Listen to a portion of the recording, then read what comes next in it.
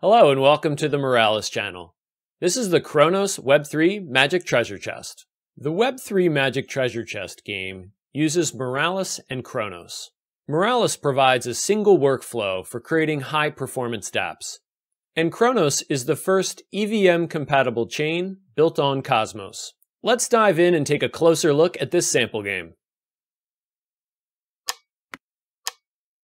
In this game, users spend in-game currency to win gold and NFT prizes.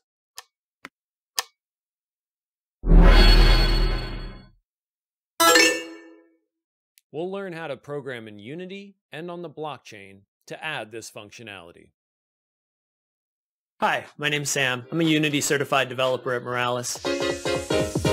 I have over 20 years of game dev experience and more than 10 years experience as a digital nomad. I love spending time in nature and practicing sports, as well as drawing, painting, and making music. To learn more about Cronos, click the link above. You'll find out what is Cronos, what are the benefits of using it, and what makes it a great fit for your projects. And to learn more about the Moralis Web3 Unity SDK, click the link above. That topic covers the benefits Moralis, how to integrate it into your Unity project, and best practices for getting started. For the sample game, Cronos will be used for authentication and will fund the account. To learn more about how to set that up, click the link above. Moralis includes complete learning resources. The learning resources include sample games, like this one that we're looking at today. Each sample game represents a complete, simple game using the technology we want to showcase. To get started and follow along, download the project from the GitHub. In the Web3 Magic Treasure Chest, you pay to open the treasure chest. And users can open the treasure chest to win rewards, including NFTs and currency. The sample game includes six different scenes. The developer console is not meant for users' eyes. We won't focus on that today but it's a helpful scene to dig into the backend and how it connects with the blockchain. We'll focus on the game scene today. Once you open the game in Unity, to get started, open the README, follow the steps covered in the README, and enjoy the game. Some advice on how to use these sample projects. You can open up each scene and play them like a user, learn the functionality from a user perspective, then open up the code and dig in, learn how it's created, and see which portions of that you want to experiment with within the game project, and eventually port them over into your project. Now, not all SDK functionality requires authentication, but for simplicity's sake, this game requires authentication before doing anything.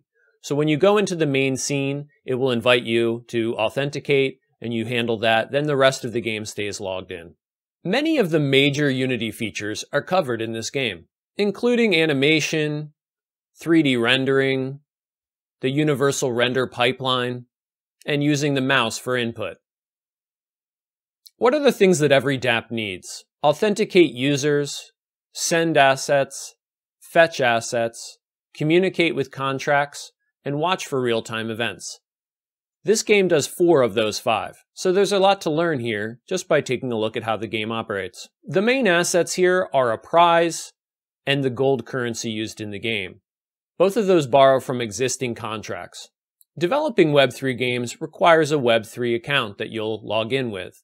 This game is best matched with two different ones, one to deploy your contracts, and then another one to play the game with. For more information about setting that up, check out the Cronos authentication and faucet video that I talked about earlier. Next, let's take a look at the project status. During this talk, we'll take the complete game, but right before the Web3 has been integrated. Together, we'll add Cronos to the game. So at this point, what has already been completed is the planning, design, the core development of the Unity project, and together we will add the Cronos testnet. We'll plan what we want and define our needs. We'll set up the contracts in Hardhat, and then we'll integrate those contracts into Unity.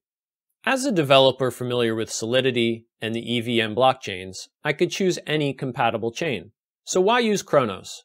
Cronos is EVM compatible, it's scalable, it's interoperable with other chains, it uses proof of authority, and it's a project that's open source. Let's talk about scalability. From an ease of portability standpoint, as I mentioned, with the already familiar concepts of EVM and Solidity, this is a welcome home to do your development. From a funding standpoint, to encourage development in this ecosystem, there are grants available. And the user base is growing. With exciting momentum, Cronos is getting more and more users involved every day. Now let's take a look at the smart contract setup. The process here is to use Hardhat, set up and deploy the contracts.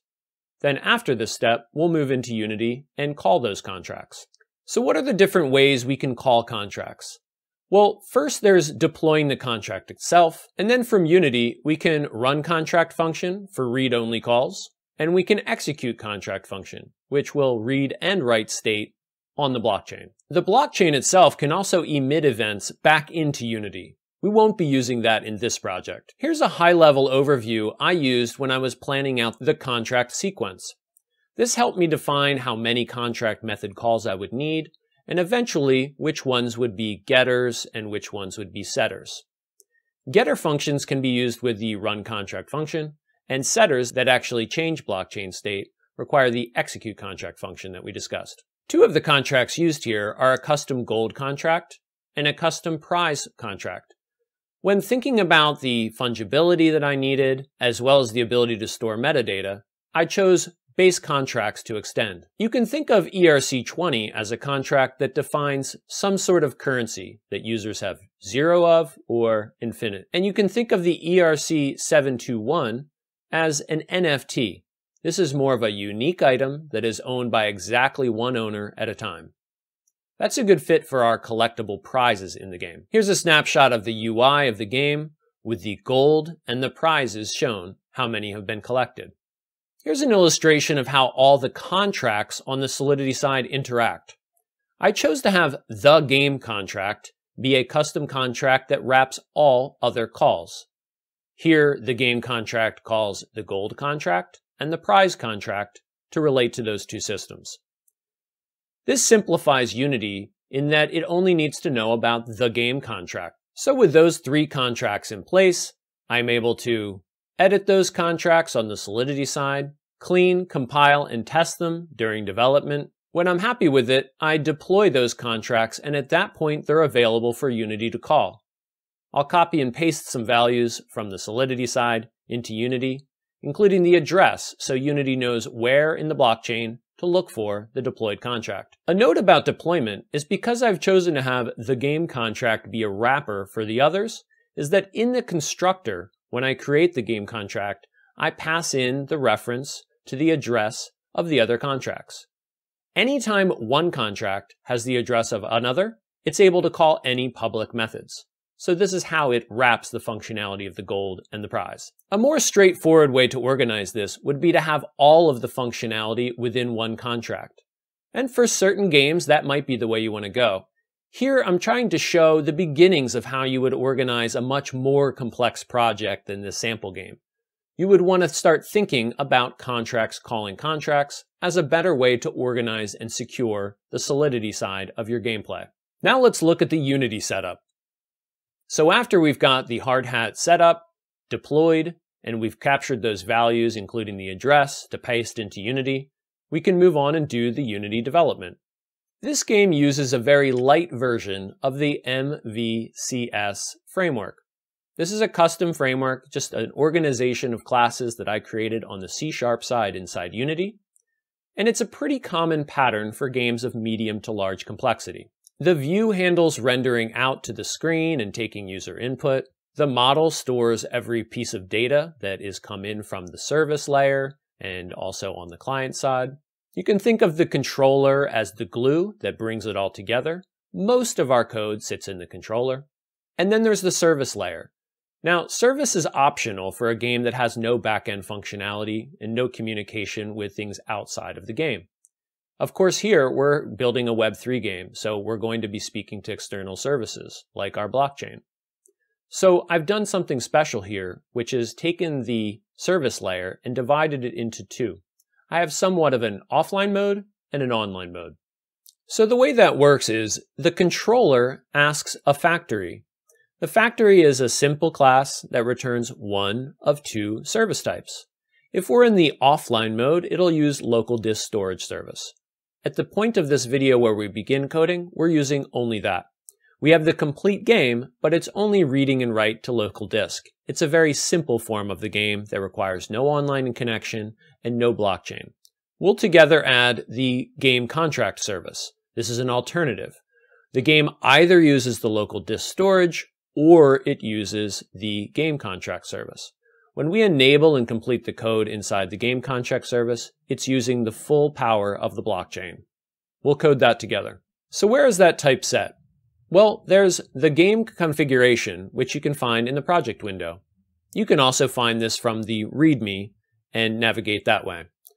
Once you open it, you choose which one of the types you want, either the contract mode or the local disk storage, and you press play in Unity and the game exclusively uses that one mode. This is nice during development because the local disk storage is a bit faster to create and requires no online connectivity. Each call is much quicker as well because it's all happening local. And You can complete, in theory, the entire game that way. Then, once the game is ready to go, you can then integrate into the Web3 version. And once we integrate that Web3 version, there's two different ways we're going to call the backend. We can either call those deployed Solidity contract with run contract function, We'll do that for all getters, where we just retrieve an already set value from the blockchain. This is helpful to know, are we currently registered? How much gold do we have? And how many of those prizes have we got? This just asks the blockchain for existing state. It's not changing any state. And from within Moralis, that's easy to call. The second way to call contracts is with execute contract function. This is useful for all setter operations ones where we want to actually change state on the blockchain. So anytime you'd want to set how much gold the user has, you'd want to register or unregister the user to the game. These are some concepts we'll see in the code. You're going to want to do it with this one. This is actually able to change state on the blockchain. And with Moralis, here's how you call execute contract function. So in summary here, when planning, I looked at the sequence, how the game is going to flow, which contracts it's going to need to call, and a primary consideration is which of the methods are setters and which ones are getters. So the top here is the getters. We're going to want to be getting the registration and the gold info and prize info. And then for gameplay, rewards, and debugging, I've got a series of setter methods. Again, the distinction here is that all the getters will need to be called with run contract function and all the setters be called with execute contract function. Other than that, the setup is pretty similar. And then from a gameplay, UX, strategic standpoint, it's of note that every getter call here does not interrupt the user's flow. They don't need to open their Web3 wallet and sign the transaction. But you'll see with each of the execute calls, the user is interrupted, so to speak. A prompt shows in the game that says you need to look at your Web3 wallet and sign this transaction. So you want to think about gameplay where you want to interrupt the user's flow. Ideally, you sign as few contracts as you can, or you combine functionality into one method. That's actually what I did here in the start game and give rewards method. I did a couple different things all packed into one method on the Solidity side, just to save me from having two calls to the user. So now when the user starts the game, they do sign the transaction, but that's all they need to do, just once. Next, let's do some live coding. Here we are in the Moralis GitHub. So that you can see me better while I'm doing the live coding section, I'm going to lower the opacity. So from the README here, we can see details about how to set up the project, the configuration and structure, different screenshots about the project and the gameplay, as well as information about Moralis. We can download the project here to get started. Once the project is downloaded, this is the structure. There's a Unity folder containing everything that Unity needs to open. It's this exact folder you'd open in Unity. And then we have a smart contracts folder. Here's where we're going to work within to do the Hardhat testing and deployment of the contracts. We open up that folder in your favorite code editor. For me, I'm using Visual Studio Code that's freely available. Let's take a look at the structure. The classes folder has any individual classes that are used. I have one here for the reward that is passed back from Solidity when the user wins something. The contracts folder holds all the individual contracts in Solidity. This is where the bulk of the work is going to be. In particular, the game contract. Libraries are optional, but I chose to organize both classes and libraries in this project. You can take a look at that custom library, which handles some things including the randomization that I used for when the user randomly wins gold or randomly wins a prize. The scripts folder are run for deployment. We'll do that at the end. The tests here are run against each individual public method for all of the contracts. Tests are optional, but recommended in Solidity development. Imagine if I opened Unity and reintegrated for every single change. That's quite time consuming and you're never quite sure if the bug is on the Unity side or the Solidity side. These tests run rapidly and right on the Solidity contract itself without opening Unity. So this is a great way to develop. The Hardhat config is set up to know how to deploy the project, and the instructions text shows everything you need for a very first install and deploy and setup and get that set up before you move on and follow along. I'll take a brief look at it here to give you the highlights. This goes step by step and works on your computer so that you can install Node.js and all the dependencies that are needed to get Hardhat set up and running. Some of these steps are one time only. It's okay if you do them again. For example, if you've already deployed Hardhat projects before, some of these will be redundant. You won't necessarily need to install them, but it's harmless to go ahead and follow every single step here. Just make sure you have the latest of everything you need. And once things are set up, we'll be doing some command lines. In particular, we're going to be doing the test and then finally the deploy. And finally, after the deployment, we'll copy some of the output values, bring them into Unity, and continue our development there. Once you complete the instructions, you would be able to deploy immediately. However, so that we can follow along together, I'm going to rename a file here. The video start file is an incomplete one. It's currently commented out, so to speak. But I'll do the renaming so it becomes active, and I'll show the failing tests. Then we'll do some coding together, and we'll see the passing tests. At that point, we'll be ready to deploy. I'll rename the original to include .bak for a backup. That will essentially comment it out. And then I'll rename the video start to the original file name without the .video start. That essentially comments it in, and now it's used. Let's run the tests and see that they fail because that file is properly incomplete at this point. You can run command lines any way you want. If you're inside Visual Studio, you can run the terminal. As the instructions text shows, there's lots of commands here that you will run along the way to setting it up, and then also each time you iterate on your project to test it and also to deploy it. Let's just start with the test method. This is going to run all the tests inside of our test folder, and we'll see that some of them fail. Now, the details of how tests are set up and which tests actually fail are outside the scope of this video. You can look at those tests and see how they operate. The important point here is that we'll see them fail. It will provide full details on why. We'll just go ahead and code in the original source, and then we'll see them pass. If you were to add more functionality after the end of this video, for example, custom functionality, you'd want to add a test, see that your method fails, complete the implementation of your code, and then see that the test passes. This is test-driven development and is a hallmark of using these tests as part of your development process so that you build more robust code. Here I'm running the test, and here's the output. In short, every red error here is a problem that we'll fix when we add the final code. Scrolling up through the results, we can see lots of red, indicating there's lots of failed tests. That's okay. Now let's look at our test contract. We'll do a brief overview, including seeing many empty methods. We'll implement just a couple of them, and then we'll finish out and run the tests again to see that they pass. First, we set our Solidity version. We import the custom and third-party code. We set up our custom main contract here, the game contract. This is a proxy for all the other contracts. Our game just calls this one, and this one calls the related gold or prize contract as needed. The fields here are already complete. I didn't remove any for the video start, so let's take a look. We're going to store the address for each the gold contract and the prize contract, and we'll do a mapping from address to bool. Every time you see mapping in Solidity, you can think of that as a database that's going to hold some user-specific information. So if I was playing this game, my mapping would store at my address a bool if I am registered or not. And simultaneously, if this game is living and live and you were to call that game, it would say, is your address registered or not, and have a separate bool value. You could think of these as an array or a dictionary or a mini database is the way that I think about it. The important point here is when you see a mapping by address, that's going to be some user specific info, and that's what we need. Let's implement just a couple of the functions here.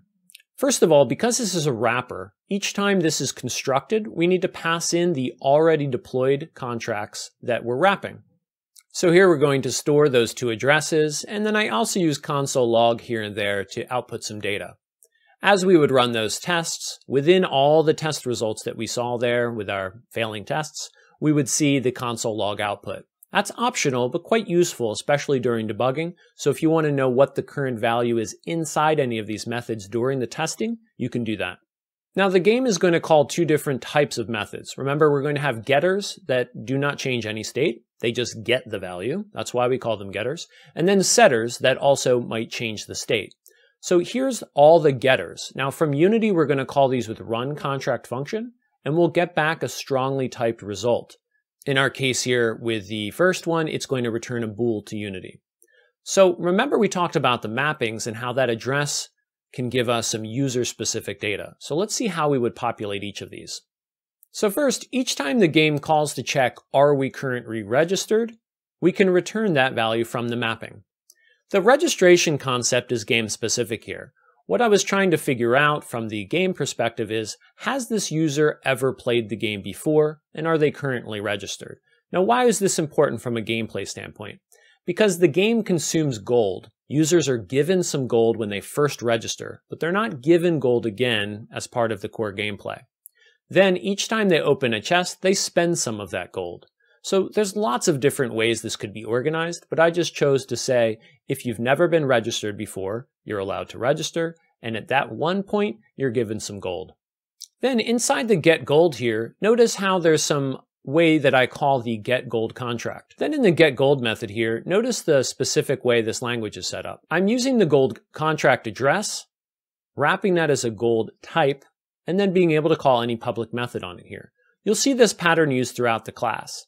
It's a simple way to have Unity call only the game contract, and the game contract in turn asks specific other contract for some data. And in get reward history, after the user has been rewarded, the game can call and ask, well, what was the reward? You'll notice a helper function here that just does some conversion, but this would show you just won a prize or you just won some gold and here's the details. So that's the end of the getter implementation. Now together, we're not going to implement every one of them, but you're invited to start with the video start file and complete all the methods yourself. It's a good exercise. We've completed all the getters. Now let's do a few setters together, and then I'll paste in the rest and we'll go ahead with the successful testing. So remember a core concept here in the game is to register. Also, because debugging your own game is very helpful, in the game I have an unregister button. Probably in a production environment, you wouldn't have that because unregistering is a bit too powerful. It gives the opportunity to the user for them to get more gold. But here it's very useful from Unity to be able to register and unregister. So let's see how I handle each of those. So first in register, I'm going to take advantage of one of those mappings. We have a mapping that tells is my specific user registered or not. That's going to be a different stored value for me than it would be for you or any other player. Notice that msg.sender. That's a special value. I didn't declare it, and we don't notice it in the method here, but every method call that you call that does state changes like this gets the address of who called it. Now, this is going to be our Unity user and their Web3 address. So when that comes in, I can securely know that I can map any data to that user. So the msg.sender would be my address when I call, and the msg.sender would be your address when you call. By storing it this way, I'm able to have my registration not impact your registration. So contracts can store shared data. You could get some value that I set and get, but this is, game is not organized that way. This game is organized that you would only get your data and I would only get my data, which for the needs of this game is exactly what we want. The second thing that I do there is I set the gold. You can see that I'm setting gold based on a constant value that's stored in the library, but I'm giving every user 100 gold, I think, to start out. Then let's take a look at the unregister. Well, first off, I want to set the gold back to zero. So if the user had previously played, they had 100 gold that they were given, more or less, whatever it is, I set it back to zero. So this nulls out their bank account, so to speak. Then I simply unregister them. I do the same thing that we saw in register, but set the value to false. Let's take a look at one more method, the most complex method, the start game and give rewards. This is called as the user opens the chest. And while the user feels like they have to wait about 10 seconds and see the animation of the chest open and the reward shown on screen, they're actually instantly rewarded at that point. This makes for a simpler game. So at the point of start game and give rewards, we do all of that together. Let's take a look at how we would solve that. So in our game, when the users play, they're able to decide how much of their gold they want to bet. They can do 1 or 30 or 150, I forget the actual values, but the idea is that the more that they give, the higher the potential prize is. Of course, they could bet 150 gold and win much less substantial rewards, so there is risk there. This is a simple gameplay mechanic, but it also demonstrates us sending a value from Unity up into the Solidity here. That comes in as the gold amount. So the first thing I do is I deduct that gold from the user. Here they're actually charged for playing the game. Now that's optional, you don't have to do your game that way, but I think it's a nice amount of tension here that the user has some risk that they're putting in each time they play. Next I use the game library to roll a random value from 0 to 100. And then I say if the value is less than 50, reward you one way, giving you gold equal to that. Or if it's over 50, then I reward you with a prize.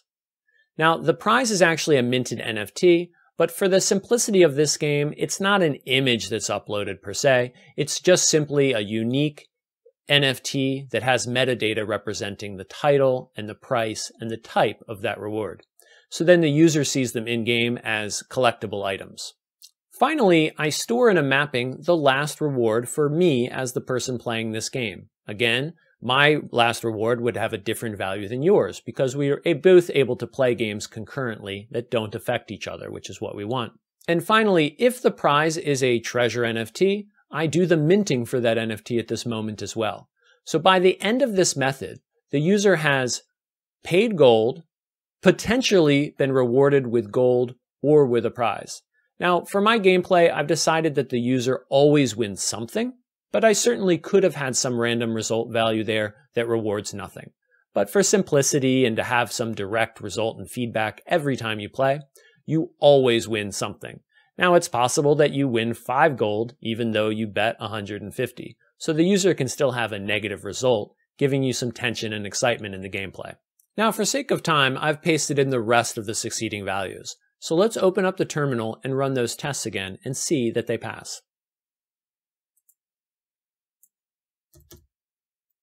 Now there at the bottom in green, we see that all 29 have passed. So we're ready to move forward. Now what we want to do before every deployment is we want to clean, compile, check the coverage, and then test.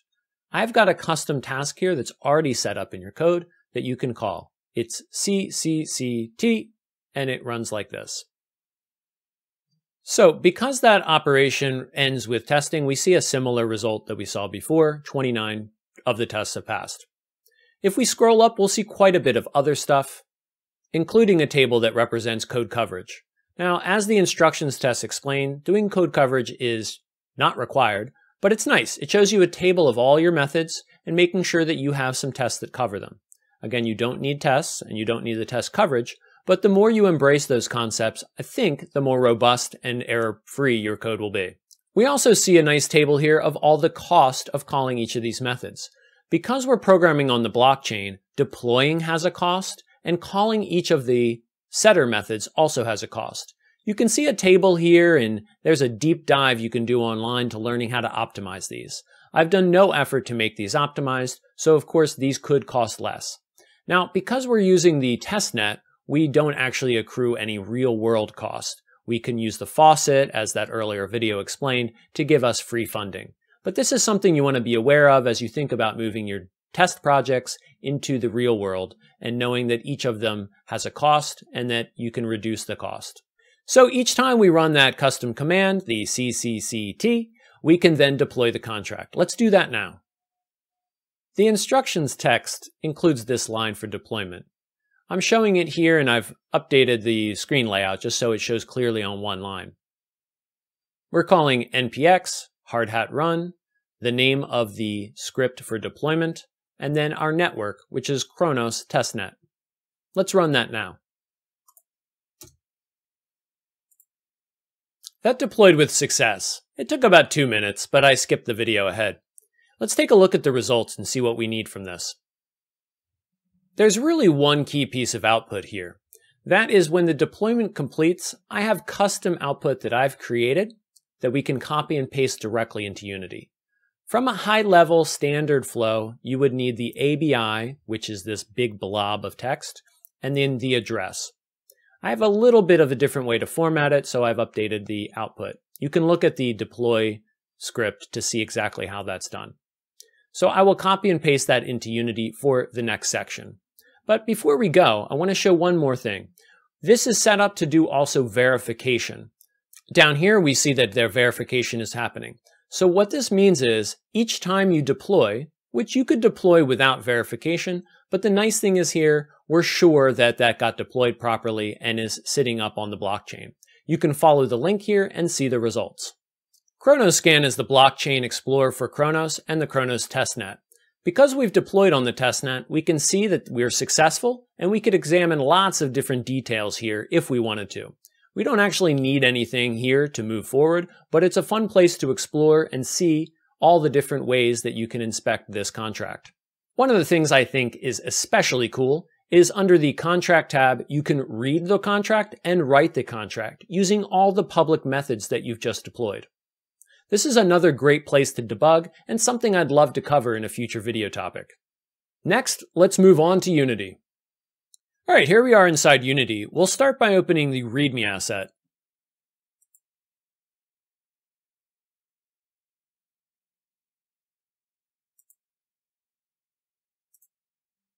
Here in the README asset, we can see some information about Moralis and the project from a high level. And we see complete instructions for getting started. At this point of the video, we've already done step number one to set up the backend. We've set up the values from number one and pasted them into Unity. Let's go ahead and click Add Example Scenes to Build Settings. Since this is a multi-scene project, it's important you click that at least once before you get started. That loads all the example scenes into the game so that once you're at runtime, you're able to load between them. That's a classic Unity requirement, and we've done that for you here. Then you can either arrange these windows however you like, showing the different inspectors and consoles how you like, or you can load the default one for this game. That just resets and gives you the same layout that I'm showing. Then we can set up some values inside the game configuration. Me click on that. Here you can turn on or off the logging for the game. I'll have it off so that we see less console traffic here. Uh, you can also change the different service type. So if we run it in local disk storage, this is an offline only mode that uses no Web3. If we run in contract mode, that makes contact with the backend and our deployed script on the blockchain. Let's go ahead and run in local disk storage mode now. Let's authenticate.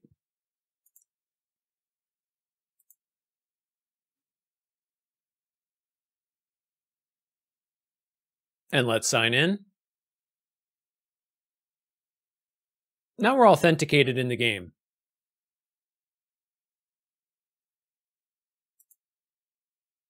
Let's view our collection. Because we haven't played yet, we don't have anything in our collection.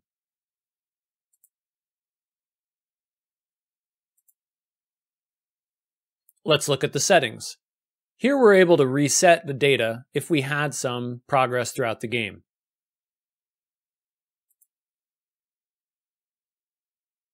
We can log out, of course, but let's go ahead and play the game.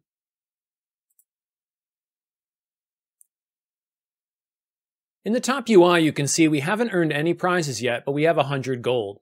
So to open up a chest, we can bet 10 gold, 30 gold, or if we had 150, we could bet that.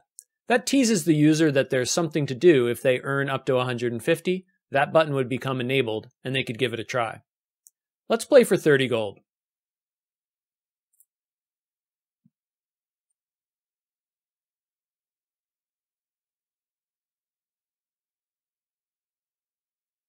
The chest opens and I'm rewarded. Let's play again. I'll play for 30 gold.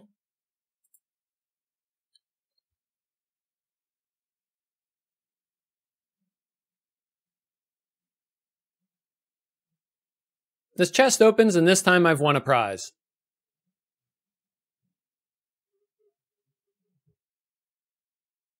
If I view the collection, we can see that that one prize was the type Amazing Prize and it's worth 50 gold.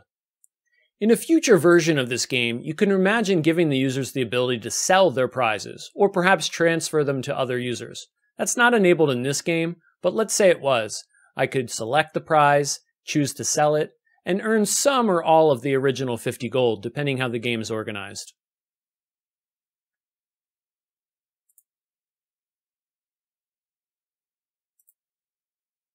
Now let's reset our data.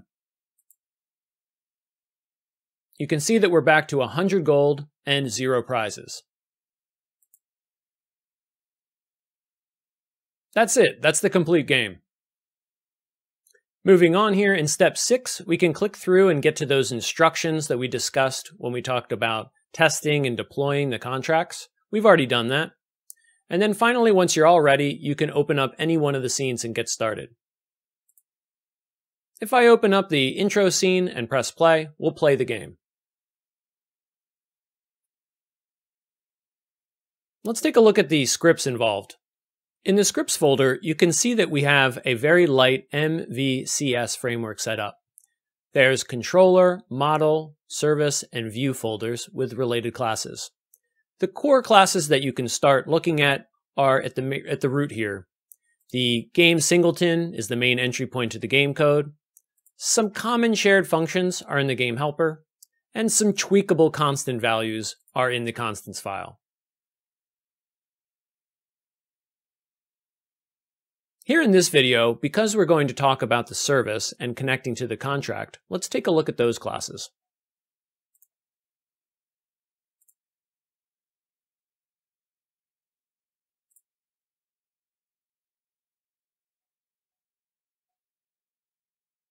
The service factory takes a look at the type that we set on the game configuration asset. If we've set it to contract, it will load the contract service. If we've set it to local disk storage, it loads the local disk storage service.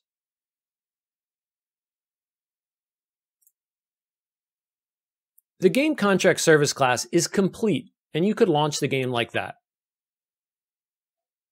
However, to have a video starting point here, I'm going to delete that class and rename the .video start so that it becomes enabled.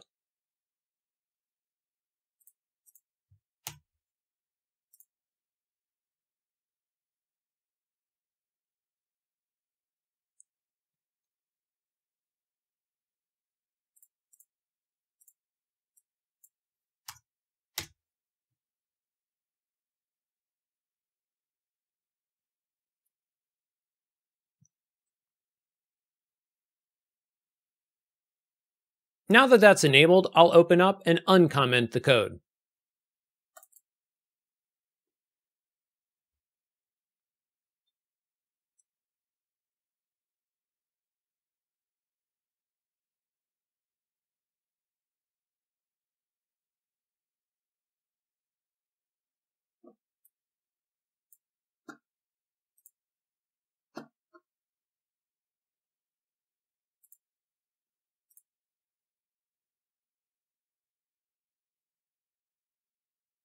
So I'll remove the comments here.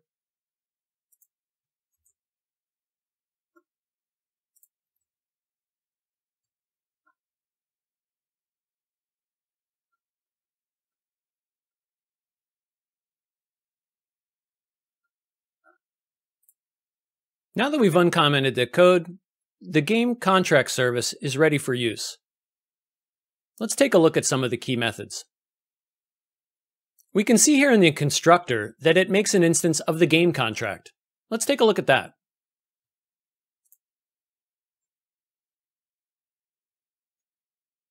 The game contract is a custom client-side mirror of what we have in the game contract on the Solidity side. every call that we do in the contract service goes through the game contract here on the client side.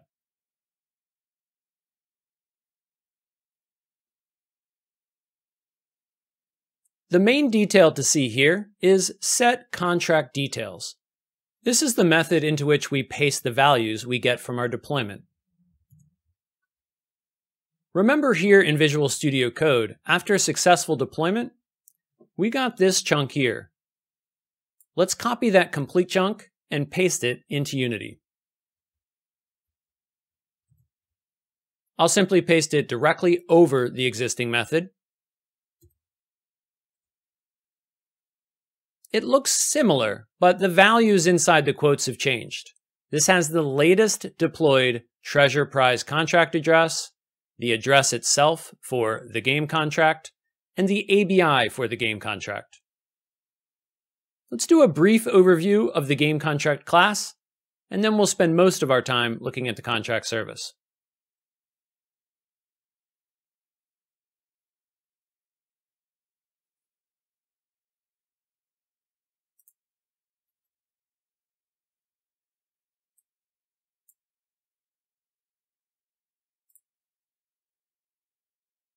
Remember in Solidity, we set up get is registered.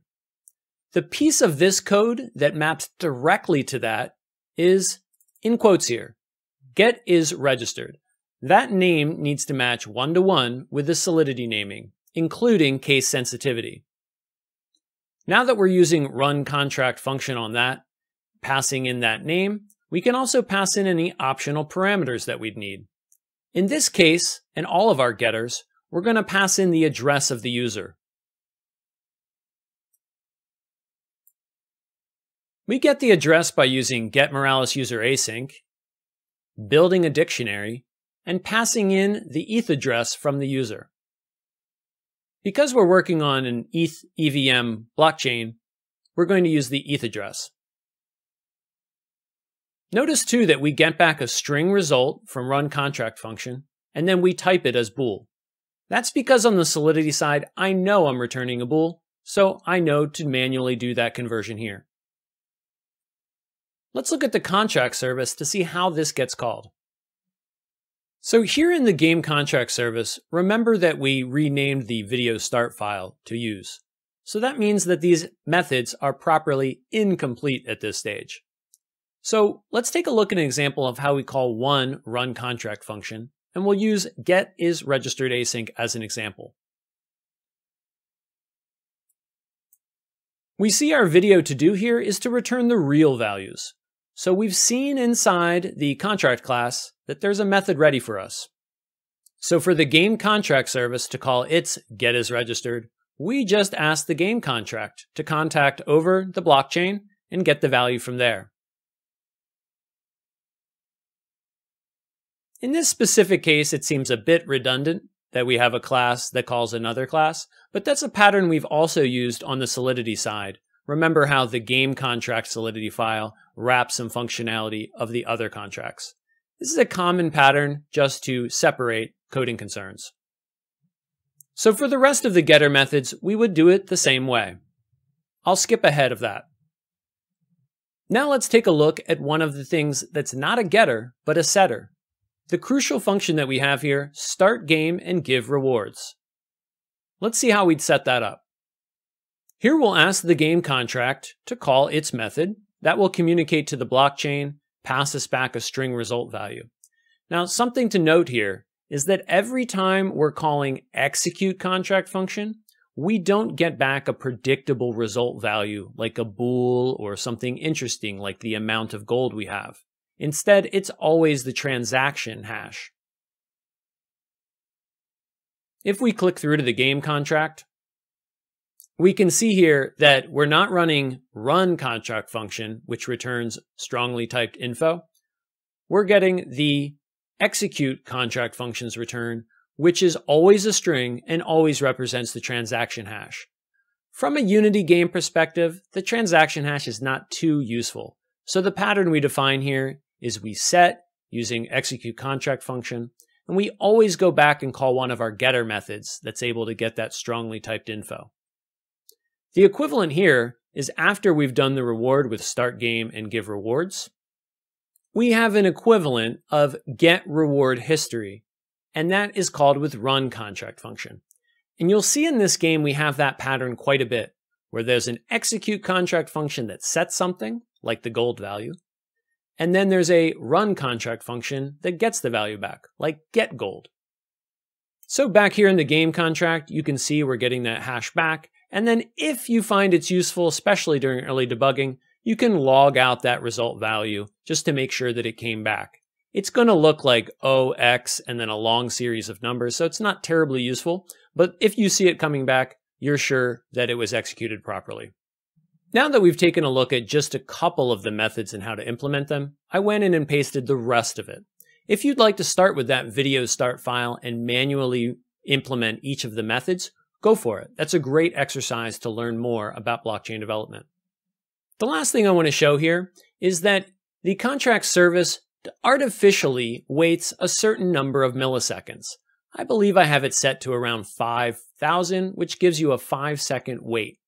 When we play the game, each time you do a signed transaction, you'll see it say waiting for a transaction and it waits about 5 seconds.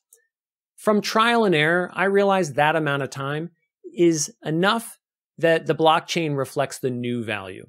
So if I set gold to 10, I wait those seconds, then next time I call get gold, I can count on it being available. It's not immediately available due to the way that blockchains function. Let's take a look at the game now. Let's go ahead and run in contract mode now. Here we have the game running. Let's authenticate. And let's sign. Now we've authenticated so we can view the collection. We have nothing in our collection yet. We can check out the settings. Settings lets us reset all the data and go back to a starting point. It's good for debugging. We could also log out, but let's go ahead and start the game. We can play the game betting 10 gold, 30 gold, or 150 gold. Because we've only got 100 gold at the moment, we have two options. I'll play for 30 gold.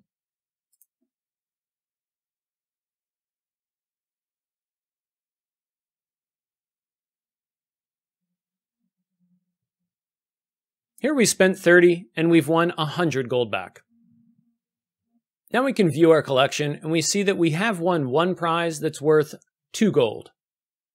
In a future version of this game, you could sell the items. We haven't implemented that yet, but you can imagine being able to select an item and then click a sell button and earn back some or all of the gold of the original price, depending how the game is organized. Next, let's look at the Gaming Metaverse Hackathon. Join the Moralis Cronos Web3 Gaming Hackathon. Compete for a total prize pool of $100,000. Moralis provides a single workflow for creating high performance dApps. Cronos is the first ever EVM compatible chain built on Cosmos. Register today and build on Cronos with Moralis. Let's recap what we've learned today. The Web3 Magic Treasure Chest game uses Unity, Moralis, and Cronos.